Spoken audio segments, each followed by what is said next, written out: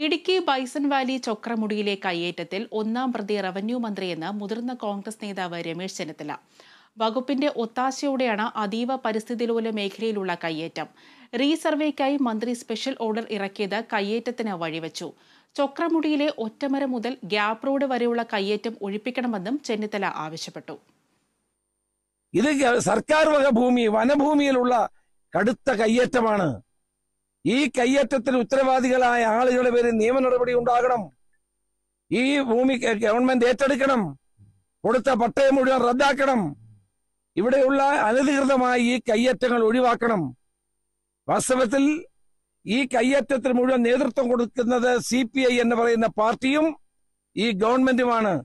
ഇതിനകത്ത് റവന്യൂ മന്ത്രി ഒന്നാം പ്രതിയാണ് ഈ കാര്യത്തിൽ. റവന്യൂ മന്ത്രി സ്പെഷ്യൽ ഓർഡർ മുഖേന ഇവിടെ റീസർവേക്ക് അനുവാദം കൊടുത്തപ്പോഴാണ് ഈ ഭൂമി സ്വന്തമാക്കാൻ ഇവർക്ക് കഴിഞ്ഞത്. ഇവർ കാണിച്ചു കൊടുത്ത ഭൂമി മുഴുവൻ പട്ടയത്തിൽപ്പെട്ടതാണെന്ന് പറഞ്ഞ് അവർ കൈവശപ്പെടുത്തുകയാണ്. മുഴുവൻ മരങ്ങളും വെട്ടി നശിപ്പിച്ചു വെട്ടിക്കൊണ്ടുപോയി ഇപ്പൊ പ്ലോട്ട് പ്ലോട്ടായിട്ട് തിരിച്ച് രണ്ടും മൂന്നും ലക്ഷം രൂപയ്ക്ക് സെന്റിന് വിൽക്കുകയാണ്.